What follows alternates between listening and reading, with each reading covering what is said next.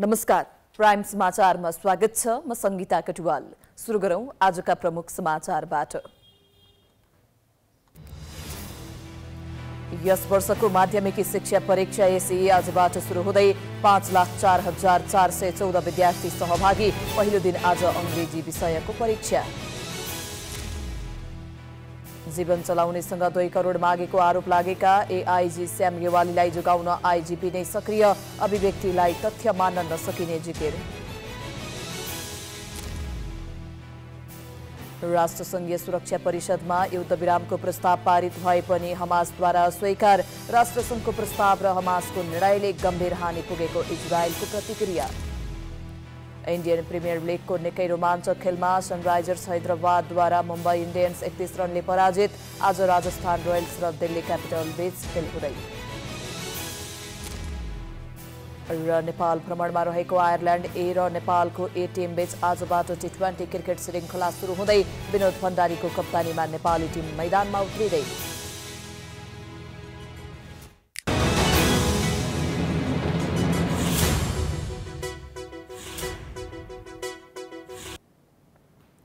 Prime समाचार अब विस्तारमा। यस वर्षको माध्यमिक शिक्षा परीक्षा एसई आजबाट सुरु हुँदैछ।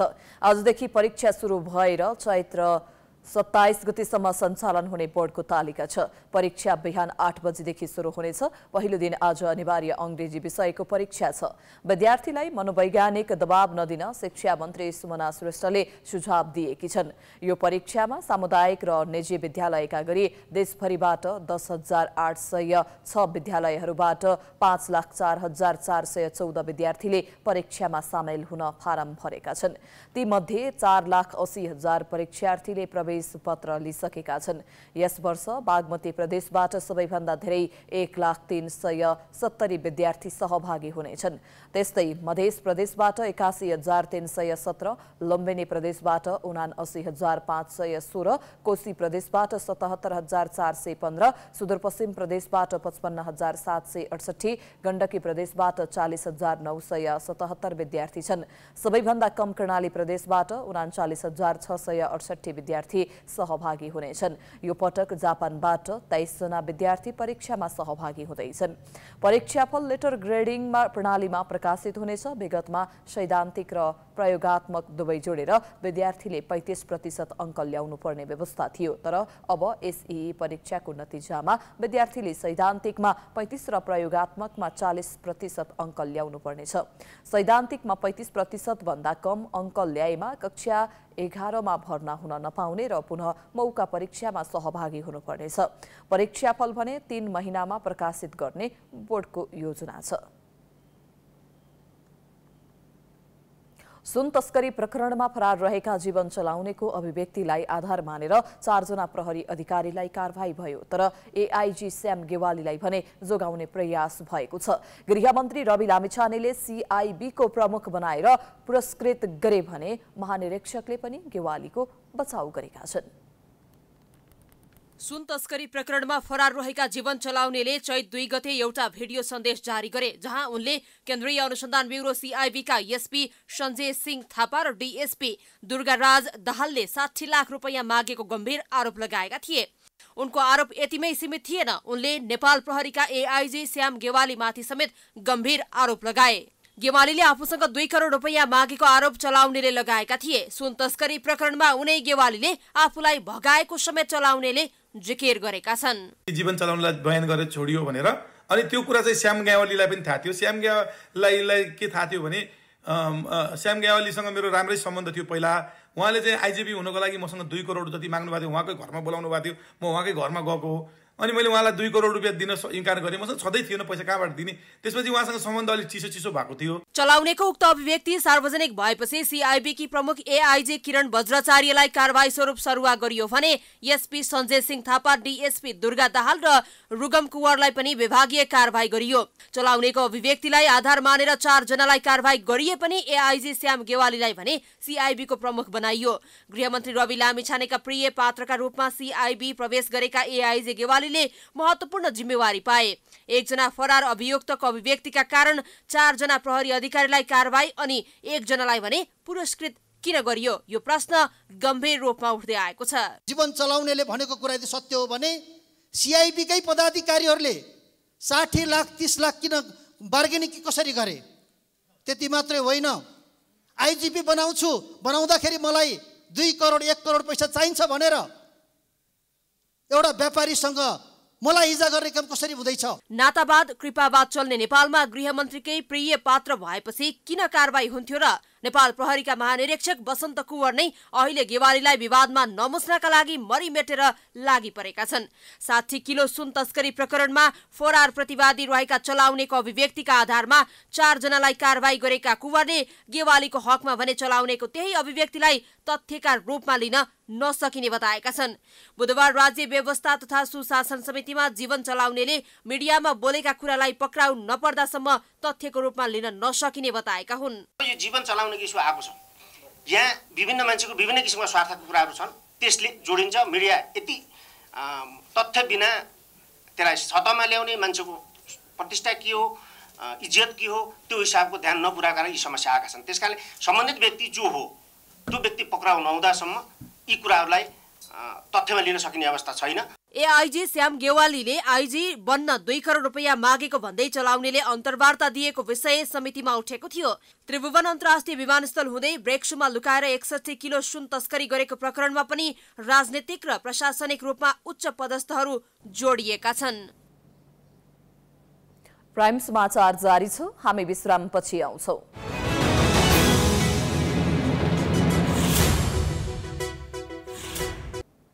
विश्रामपछि स्वागत छ। अब बाँकी समाचार।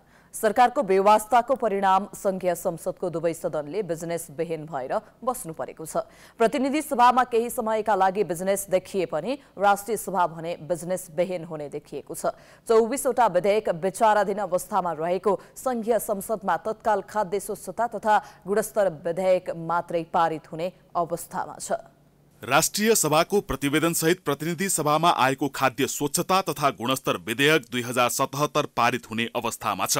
बाँकी तेइसवटा विधेयक संघीय संसदको विभिन्न समितिमा विचाराधीन छन् सबै विधेयकहरू समितिमा छलफलकै क्रममा छन्। कुनै पनि विधेयक पारित भएर फुल हाउसमा जाने अवस्था छैन।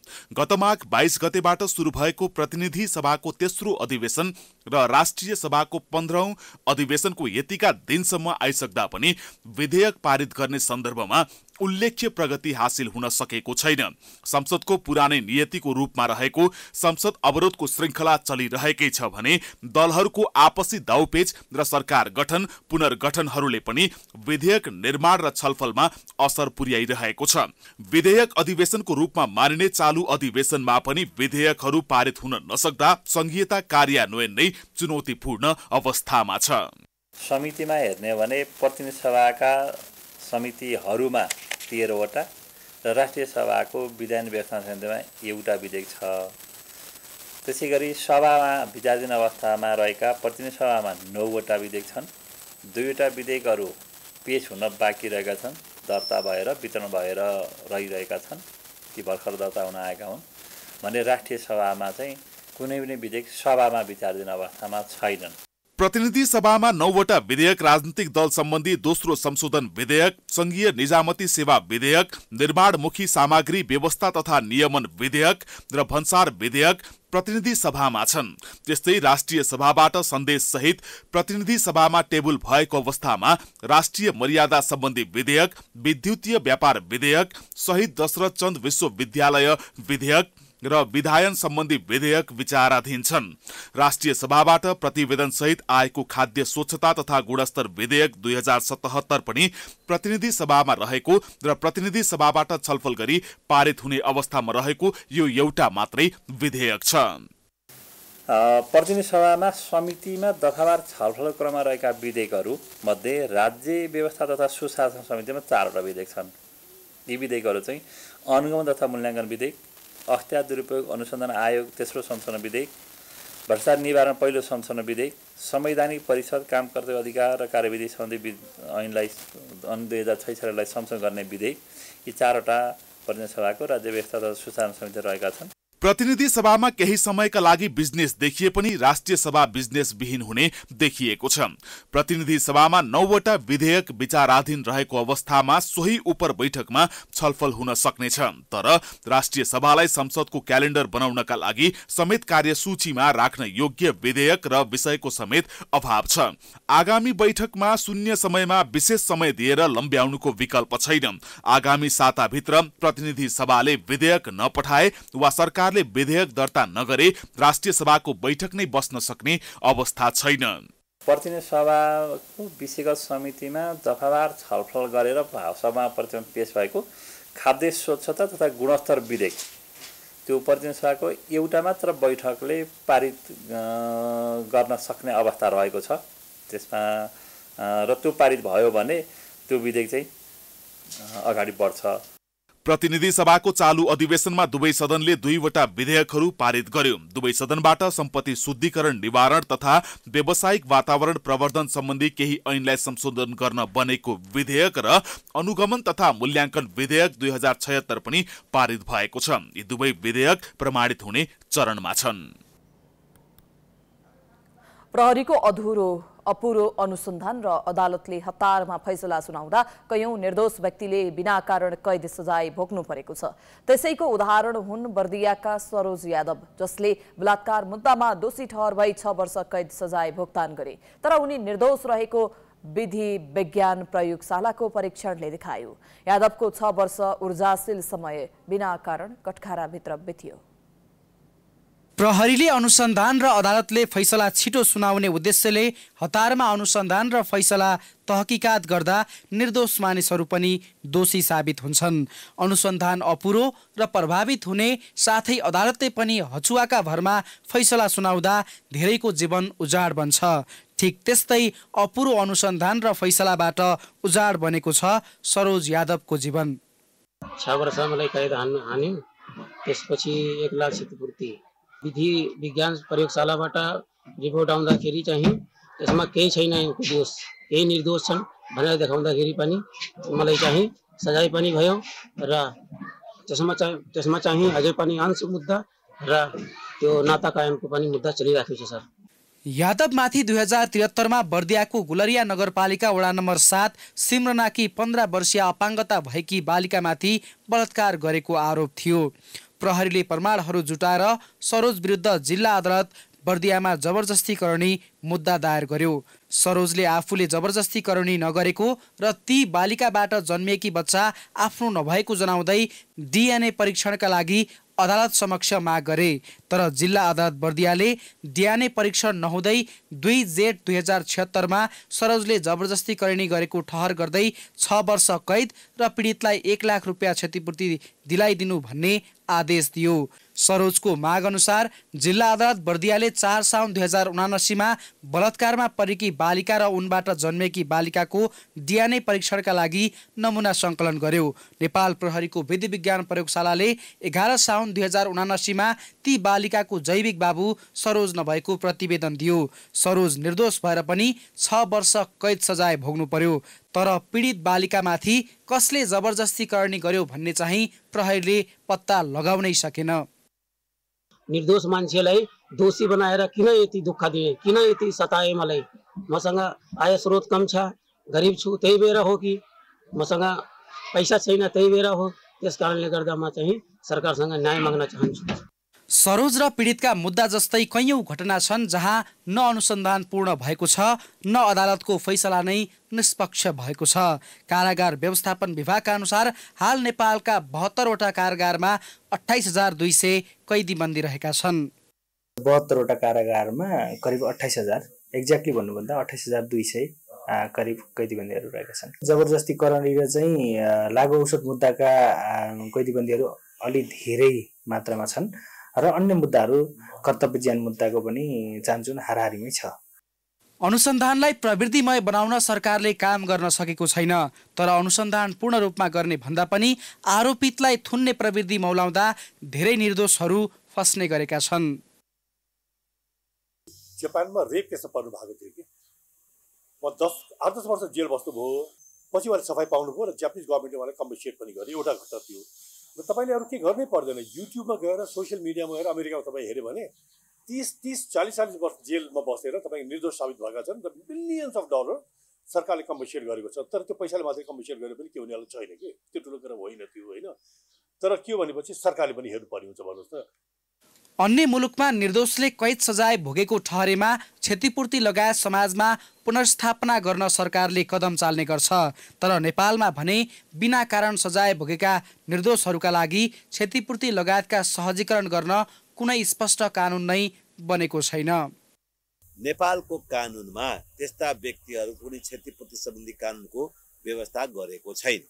त्यो व्यवस्था नगरेको हुनाले त्यो व्यक्तिको जुन क्षति हुन्छ। उसको व्यक्तिगत जीवनमा पारिवारिक जीवनमा सामाजिक जीवनमा आर्थिक जीवनमा ती कुनै पनि कुराको क्षतिपूर्ति हुने अवस्था नेपालको हालको कानुन व्यवस्थामा नरहेको हुनाले उसले त्यो क्षति सहेरै बस्नुपर्ने अवस्था हुन्छ। त्यो उसको लागि अन्यायको विषय त हो तर त्यो अन्यायको उपचारको व्यवस्था नेपालमा छैन। छ वर्ष कैद सजाय भुक्तान गरिसकेपछि निर्दोष साबित भएका सरोज यादव केवल एक उदाहरण मात्र हुन्। उनी जस्ता कैयौँ निर्दोषहरूले बिना कारण जेल जीवन बिताउनु परिरहेको छ। यसर्थ प्रहरीले अनुसन्धान र अदालतले मुद्दाको फैसला अगाडि त्यसका सम्पूर्ण तथ्य केलाउनु पर्ने आवश्यक देखिन्छ। हतारसँगै प्रभावित अनुसन्धान र फैसलाले कसैको जीवन तहस नहस हुन सक्छ। हामी प्राइम समाचारको अन्त्यमा आइपुगेका छौँ। जाँदा जाँदै प्रमुख समाचार पुनः एकपटक। यस वर्षको माध्यमिक शिक्षा परीक्षा एसई आजबाट सुरु हुँदै पाँच लाख चार हजार चार सय चौध विद्यार्थी सहभागी। पहिलो दिन आज अङ्ग्रेजी विषयको परीक्षा। जीवन चलाउनेसँग दुई करोड मागेको आरोप लागेका एआइजी श्याम गेवालीलाई जुगाउन आइजिपी नै सक्रिय। अभिव्यक्तिलाई तथ्य मान्न नसकिने जिज्ञेस राष्ट्रसङ्घीय सुरक्षा परिषदमा युद्धविरामको प्रस्ताव पारित भए पनि हमासद्वारा स्वीकार राष्ट्रसङ्घको प्रस्ताव र हमासको निर्णयले गम्भीर हानि पुगेको इजरायलको प्रतिक्रिया। इन्डियन प्रिमियर लिगको निकै रोमाञ्चक खेलमा सनराइजर्स हैदराबादद्वारा मुम्बई इन्डियन्स एकतिस रनले पराजित। आज राजस्थान रोयल्स र दिल्ली क्यापिटल बिच खेल र नेपाल भ्रमणमा रहेको आयरल्यान्ड ए र नेपालको ए टिम बीच आजबाट टी ट्वेन्टी क्रिकेट श्रृङ्खला सुरु हुँदै विनोद भण्डारीको कप्तानीमा नेपाली टिम मैदानमा उत्रिँदै प्राइम समाचार अहिलेलाई सकियो हेर्दै गर्नुहोला प्राइम एचडी नमस्कार